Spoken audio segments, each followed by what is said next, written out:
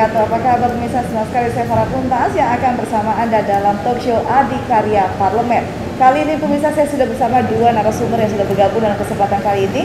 Beliau adalah Bapak Yunandar Eka Perwira selaku Sekretaris Komisi 2 DPRD Provinsi Jawa Barat dan juga Kabiro Perekonomian Provinsi Jawa Barat Bapak Beni Ahmad. Assalamualaikum Bapak-Bapak. Waalaikumsalam. Sehat ya Pak ya? Alhamdulillah. Oke, kita langsung saja berbincang karena memang ini cukup serius untuk Provinsi Jawa Barat ya Pak. Karena PSBB 2020 banyak sekali semuanya sektor yang terdampak Pak. Apa terutama yang membuat apa eh, dampak yang sangat signifikan adalah perekonomian di Provinsi Jawa Barat.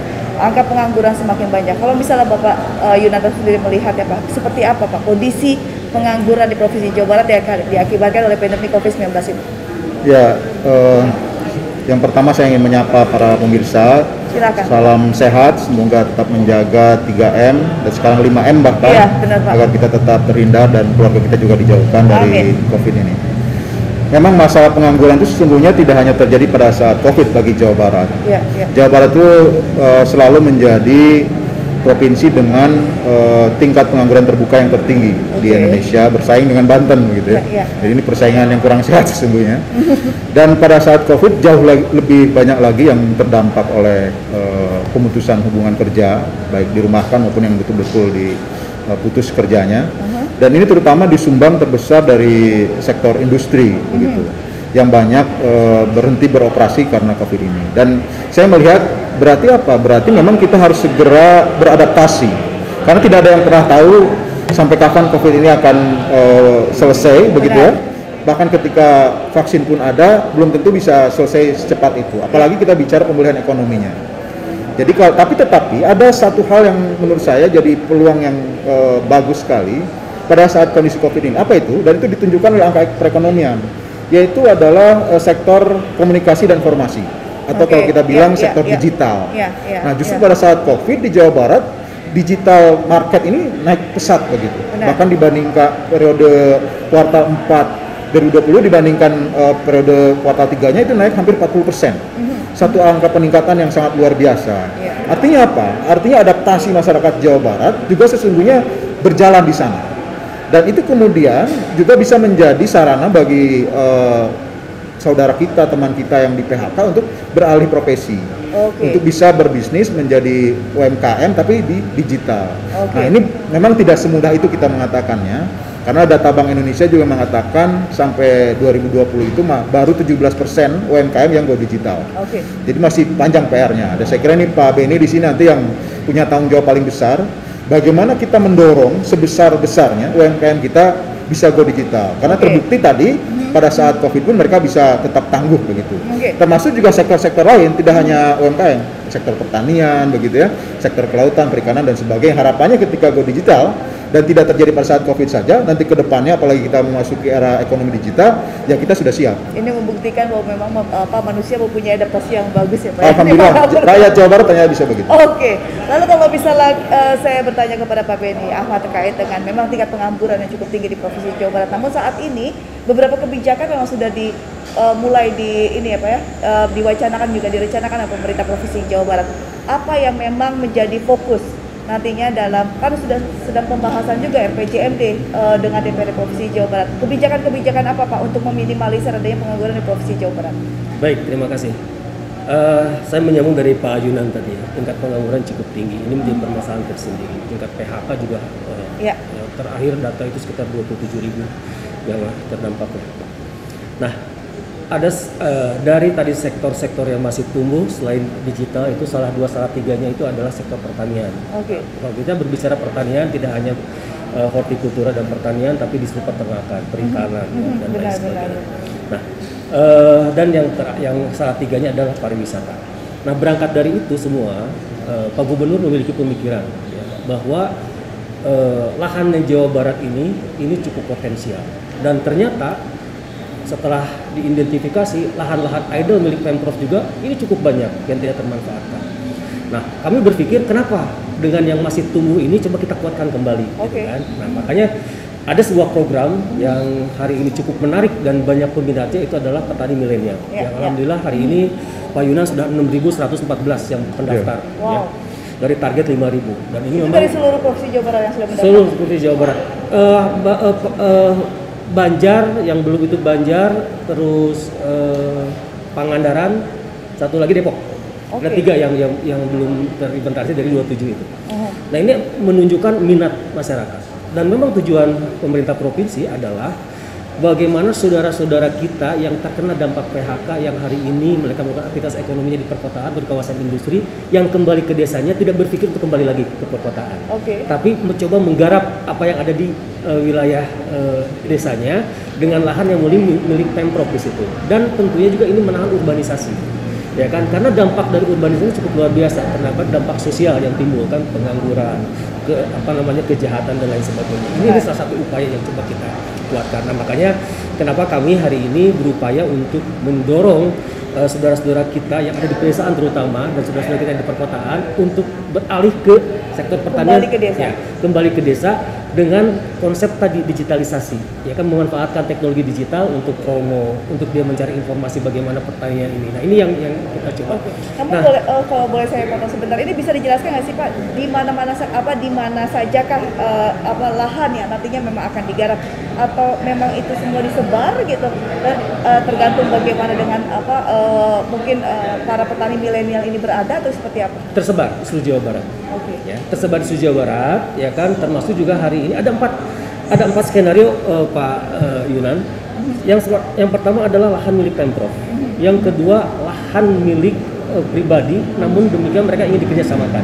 Oke. ya lalu lahan eh, milik pihak ketiga perhutani PTPN atau yang eh, HGU-nya sudah habis. Ah, ya oke. yang terakhir itu adalah lahan-lahan milik pemerintah pusat ya seperti Kemensos, Kementan. Kemensos kemarin sudah kontak kepada kami bahwa mereka memiliki seribu lahan di daerah Subang yang siap dikerjasamakan juga dengan petani milenial. Apa manfaatnya untuk masyarakat atau juga para petani milenial Pak? Ya, Seperti artinya- apa keuntungan yang mereka dapat? Nah, kita men- me- kita mendorong mereka ya kan untuk aktivitas ekonomi di daerah ya kan eh, di wilayahnya, tapi mereka pun juga akan mendapatkan penghasilan yang setara dengan kota. Target kita seperti demikian. Oke. Jadi kalau kita melihat sekarang makanya jargon Pak Gubernur hidup di desa, rezeki kota, bisnis mendunia. Ya kan? Ya artinya walaupun mereka hidup di desa tapi Iya. kesejahteraannya juga tinggi sama dengan perkotaan. Oke. Begitu. Itu yang yang menjadi target-target kita dari Jadi at least mereka tidak jomplang seperti kehidupan mereka Betul, sebelumnya. betul. Oke, lalu kalau misalnya Bapak melihat nih Pak ya, ini memang merupakan terobosan baru dari pemerintah Provinsi Jawa Barat. Namun kalau misalnya support yang memang akan diberikan oleh eh, DPRD khususnya dalam hal ini Komisi 2 ini seperti apa Pak?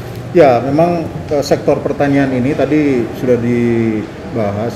eh, ini merupakan satu sektor yang bertahan pada saat era COVID. Dan saya kira kebutuhannya semakin meningkat. Tidak ada orang yang tidak butuh pangan, begitu ya.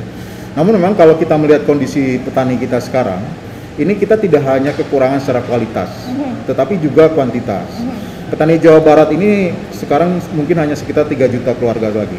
Itu berarti kalau dibandingkan 10 tahun sebelumnya ada pengurangan sekitar 100 ribu keluarga per tahun. Bayangkan, itu satu angka penurunan yang sangat luar biasa sekali. Nah, artinya PR sebenarnya dari pemerintah provinsi maupun pemerintah kabupaten kota maupun pemerintah desa itu sangat banyak sekali. Jadi kalau kita mau bicara bagaimana membangkitkan sektor pertanian, maka kita harus bicara kualitas dengan kuantitas. Nah, kuncinya memang tadi sampaikan Pak Beni, bagaimana kita bisa memfasilitasi para milenial ini untuk mau terjun lagi.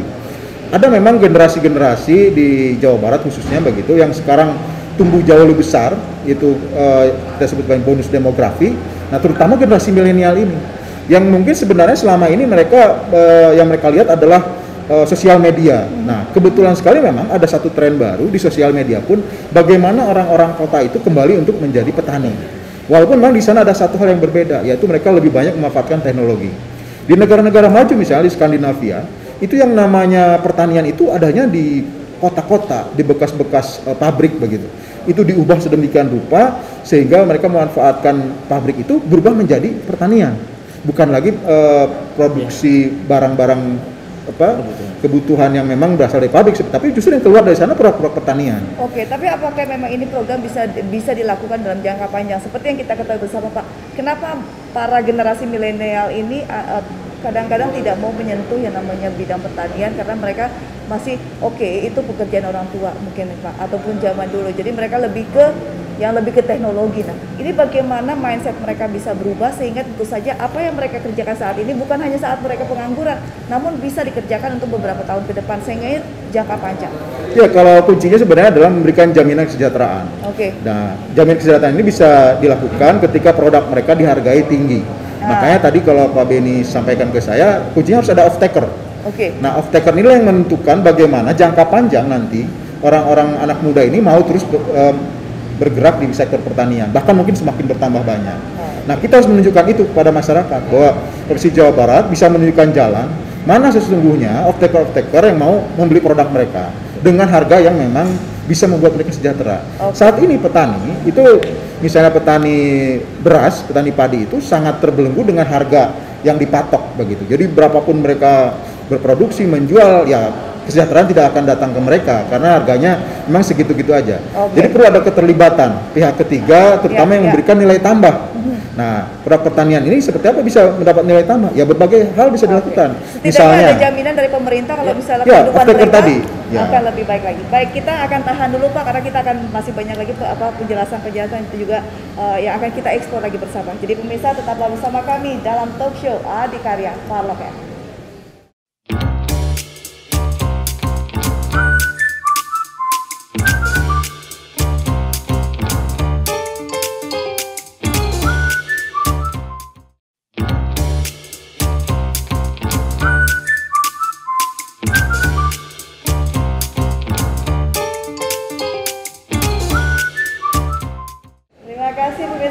Masih bersama saya Farah Mumtaz dalam show Adikarya Parlemen. Sudah ada satu narasumber yang bergabung dalam kesempatan kali ini pemirsa. Beliau adalah Bapak Hari Mawardi selaku Direktur PT Kreasi Jabar. Assalamualaikum Kang. Kang aja ya, jangan Bapak ya. Baik, kita tadi lanjutkan lagi terkait dengan bagaimana beberapa kebijakan pemerintah yang memang sudah akan atau juga sedang eh, sedang dijalankan ya Pak untuk benar-benar bisa memulihkan perekonomian di Provinsi Jawa Barat. Tingkat pengangguran yang cukup tinggi di Provinsi Jawa Barat banyak diakibatkan karena pandemi ini. Lalu juga ada berbagai apa inovasi terbaru terkait dengan petani milenial. Lalu apalagi Pak? Mungkin ke Pak Beni terlebih dahulu. Apalagi yang memang sudah direncanakan oleh pemerintah Provinsi Jawa Barat untuk benar-benar bisa geliat ekonomi ini bisa eh, eh, apa semakin ini gitu Pak, semakin meluas di Jawa Barat. Oke. Sebetulnya platform awal yang dibangun oleh Pak Gubernur di 2018 sampai 2023 ini adalah bagaimana membangun jabat juara lahir batin melalui desa juaranya. Ya kan? Itu juga salah satu platform yang diharapkan Pak Gubernur ini bisa membantu pertumbuhan ekonomi sehingga seimbang dengan perkotaan. Oke. Makanya di situ ada yang namanya desa juara, ada yang namanya OVO, One Pesantren One Product, Ya. ada yang namanya OVO, One Village One Company, ada yang namanya CEO desa, ada yang namanya desa digital. Yang ini semua berada di Dinas Pemberdayaan Masyarakat Desa. Ini sudah mulai tumbuh sekarang, walaupun percontohan ini baru di 50 ini sebagai pilot projectnya. Karena di Jawa Barat ini ada 5.312 desa ya, yang tersebar di Jawa Barat yang memang ini secara bertahap dan memang ini long term yang yang perlu kita. Tapi kan platformnya juga kita kuatkan dulu. Nah, itu salah satu program kita untuk memberikan eh, kontribusi atau manfaat yang dihasilkan oleh eh, apa masyarakat di desa ini atau eh, pelaku-pelaku industri kreatif yang ada di Jawa Barat Ya. ya kan karena Jawa Barat ini khususnya Bandung dengan Maming ini cukup luar biasa. Nah makanya dinas KUKM mendirikan platform yang namanya eh, marketplace yang namanya eh, Berondong ID. Borondong, ya, Borondong ID. Borongdong, sorry, Borongdong ID. Borondong ya Pak ya? Borongdong. Borondong, Dong. bukannya berondong. Bukan, ya? Oke. Borondong. Borondong ID. Borondong ID ini adalah satu marketplace di mana di sini bisa memanfaatkan platform tersebut untuk teman-teman kita yang eh, apa namanya memasarkan produk-produk. Oke. Itu salah satu upaya pemerintah juga untuk meningkatkan kesejahteraan para UMKM di Jawa Barat. Oke. Nah, ada yang paling menarik lagi ini adalah eh, karena mohon maaf, saudara-saudara kita yang bekerja di sektor formal ini cukup banyak. Tapi akses ini juga sangat Ini. sus- susah, bukan ini susah sekali gitu. Susah, Ya, susah oke. sekali. Nah, kabar, eh, Pak Gubernur menginstruksikan kepada kami dengan OJK itu agar eh, perbankan ya khususnya BBJB maupun Hibara yang ada di eh, Jawa Barat ini bisa membuat salah satu konsep ya eh, apa namanya pemberian kredit kepada para pelaku sektor non formal ini kemudahan-kemudahan. Oke. Jadi bahasanya beliau ini eh, eh, apa namanya Bank Himbara Bank Jabar ini bisa tidak berperan seperti rentenir. ya kan? Tapi dengan memberikan bunga yang sangat kecil gitu kan. Oke. Artinya di sini kan akan mendorong karena dari masyarakat eh, pelaku eh, UMKM sektor non formal ini mengatakan demikian, Pak mau masuk ke banknya saya udah males. Pertama jarudes gitu kan kalau bahasa jarudes, kedua banyak aturan. Oke, baik, Eh, baik. jadi baik. jadi lebih baik ke Batak saja katanya begitu kan karena lebih lebih gampang katanya begitu ya ke bank ke bank keliling. Nah, nah, ini melihat apa eh, kondisi seperti ini, mungkin saya ke Pak Yunanda dulu sebelum ke Kang Heri. Ini seperti apa, Pak? Eh, sudah cukup idealkah gitu loh untuk situasi dan kondisi saat ini yang memang semuanya serba digital teknologi apa? Ya, sebenarnya kuncinya adalah kalau memang kita levelnya itu sejauh barat adalah membangun ekosistem. Sehingga itu. Jadi tidak bisa sebenarnya kita bergerak dari satu sistem ke sistem saja, tapi harus ekosistem Jawa Barat ini dibangun. Oke, Kalau kita mau melihat dunia usaha tentu saja harus dari hulu ke hilir kita harus bisa memberikan intervensi di sana yang memang bisa membangkitkan ekosistem yang lebih kondusif, yang lebih efisien begitu. Jadi mulai dari perizinan sangat dipermudah, murah dan sebagainya. Kemudian tadi bicara marketplace, Ya, ini yang ya. memudahkan antara uh, supply chain di sana karena dari produsen menuju ke konsumen menggunakan marketplace ini akan jadi lebih efisien begitu. Tidak ada eh, rantai pasok yang terlalu panjang. Demikian juga tadi dari sektor eh, perbankan atau dari permodalan. Sesungguhnya kita punya perda yang eh, berkaitan dengan masalah permodalan ini itu tentang peng- eh, dana bergulir. Nah, dana bergulir ini seharusnya bisa bisa dihandle oleh pemerintah provinsi karena sesungguhnya kita sudah punya BJB, punya BPR begitu ya. Kenapa tidak ada dana bergulir dibentuk BLUD? Itu sudah diamatkan diamatkan sejak tahun 2010. Nah, dengan adanya dana bergulir ini maka tadi eh, pelaku-pelaku usaha atau misalnya bahkan petani, peternak yang memang tidak bankable, dia bisa difasilitasi di sana. Oke. Bisa misalnya kalau petani kan dia tidak bisa bayar kredit tiap bulan. Iya. Dia baru panen setelah 3-4 bulan. Nah. Nah, dengan adanya dana bergulir itu bisa difasilitasi sesungguhnya. Oke, namun kalau misalnya ke Kang Hari ini saya eh, apa penasaran juga seperti apa sih aplikasi Borondong? Borondong. Borondong ini, gitu loh. bisa dijelasin nggak nggak? Oke, ya, jadi sebetulnya kalau kita lihat tadi masalah digitalisasi sebetulnya uh, jadi kewajiban uh, Benar. di masa pandemi ini seperti Ya. kemarin uh, amanat dari Pak Gubernur juga. Tapi kalau kita lihat dari angkanya UMKM di Jawa Barat ini angkanya baru 21% yang sudah go digital atau masuk di e-commerce. Itu termasuk eh, rendah, masih rendah. Uh, itu bahkan kalah dari Yogyakarta Oke, yang skupnya lebih kecil. provinsi. Jawa Barat provinsi terbesar. Betul. Nah, jadi kita melihat bahwa uh, ketika kita kemarin uh, roadshow virtual ke beberapa kota kabupaten, permasalahannya itu apa? Lalu permasalahannya rata-rata sama. Oh, uh, kita nggak paham nih setelah dikasih pelatihan, daftar uh, marketplace dan lain sebagainya, terus saya harus ngapain gitu? Atau Oke. uh, ada beberapa program juga tujuannya uh, ini nanti masing-masing UKM punya website sendiri-sendiri gitu misalkan. Tapi untuk punya website sendiri, costnya ada juga mahal, menambah beban juga dan lain sebagainya gitu.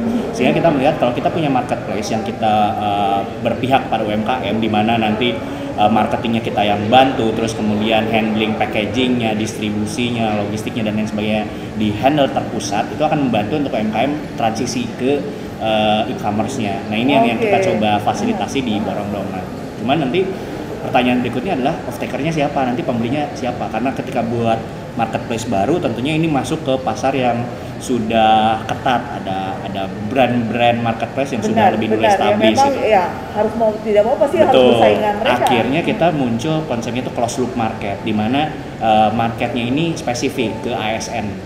Nah, karena kita lihat Oke. ternyata pasar ASN di Jawa Barat, apabila kita gabungkan antara yang pemprov dan juga yang di kota kabupaten itu sekitar 300 ribu uh, ASN. Di mana yang kalau uh, kita Pasar lihat cukup, uh, ini betul ya. selama masa pandemi juga Iya. mungkin daya belinya yang tergolong tidak terlalu terdampak seperti di swasta.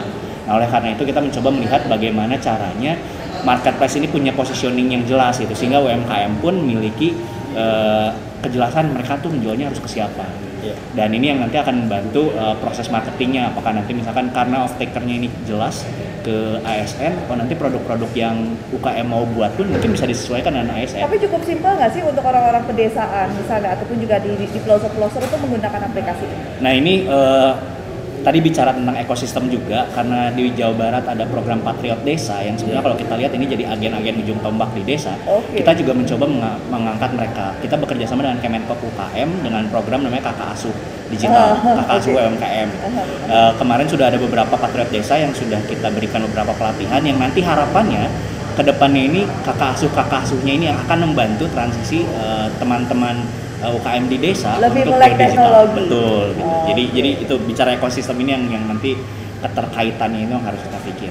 Oke, Pak Benny ini gimana? Jadi memang inceran target pasarnya yang membeli ini para PMS atau seperti apa? Ya. Atau ASN? Ya, jadi itu untuk target pertama.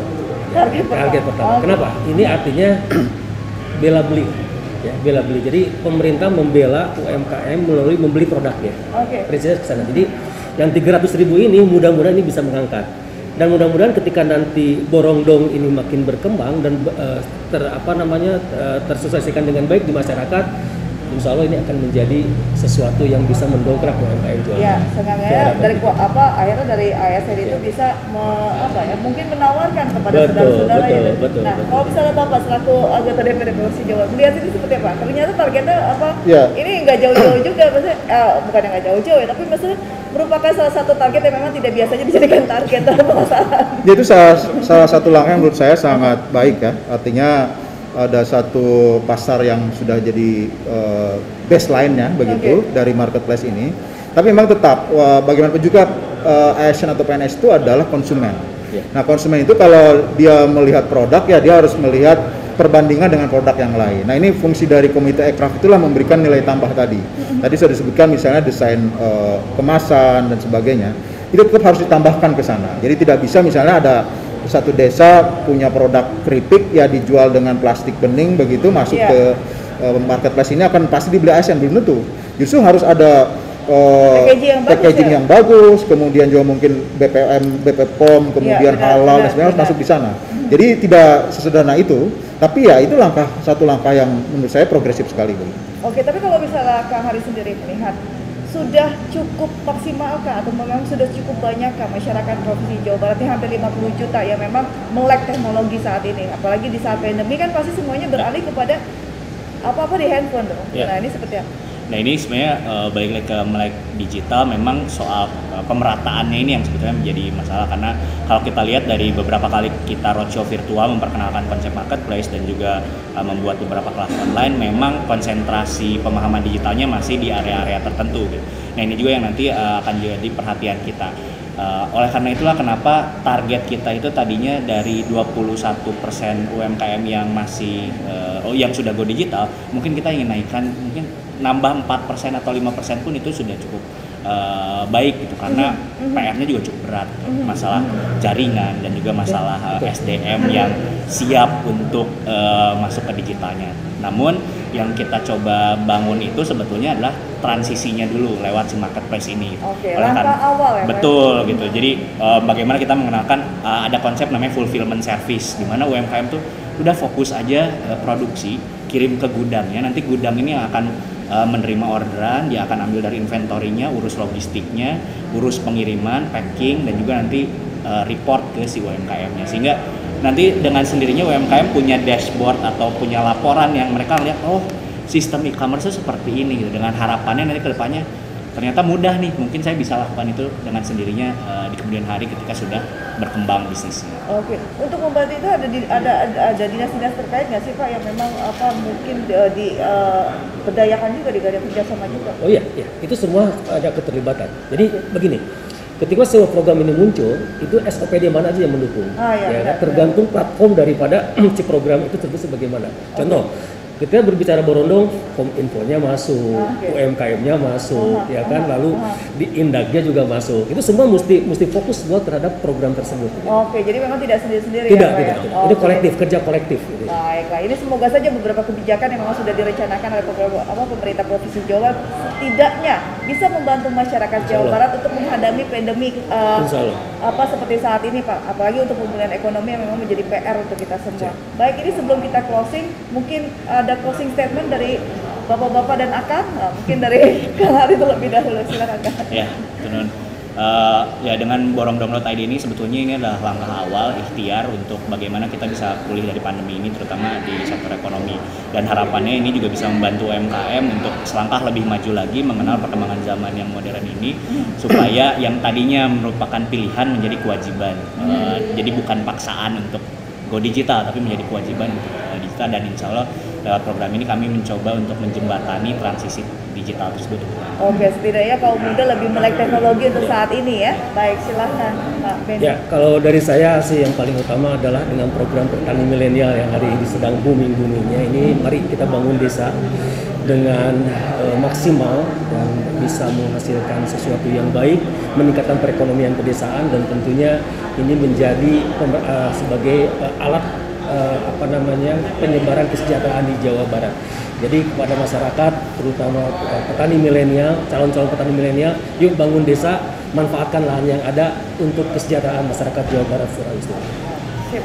Silakan, Ya, kalau boleh mengutip menurut Jack Ma itu, ya beliau mengatakan bahwa kunci keberhasilan suatu, suatu negara di saat di ekonomi digital itu ada tiga, yaitu e-education, kemudian e-government, dan satu lagi e-entrepreneurship. Nah, ini yang kemudian harus menjadi kunci Jawa Barat bisa juga menjadi bagian dari eh, negara-negara maju. Oke, sudah ya apa sudah mulai beralih apa jangan konvensional aja. Memang Iya. kita sudah harus mengikuti bagaimana kemajuan zaman ini. Baik, terima kasih Kang Hari, Pak Yunarto dan juga Pak Beni sudah berbagi informasi. Semoga saja eh, ini memang menjadi salah satu eh, solusi terbaik bagi masyarakat Jawa Barat untuk benar-benar bisa menggeliatkan ekonomi di saat pandemi COVID-19 saat ini. Terima kasih Bapak-Bapak juga akan dan terima kasih juga pemirsa atas perhatian dari Anda. Akhir kata, saya Farah Pumtas mewakili seluruh kerabat kerja petugas pamit undur diri. Wassalamualaikum warahmatullahi wabarakatuh. Nuwun, sampai jumpa.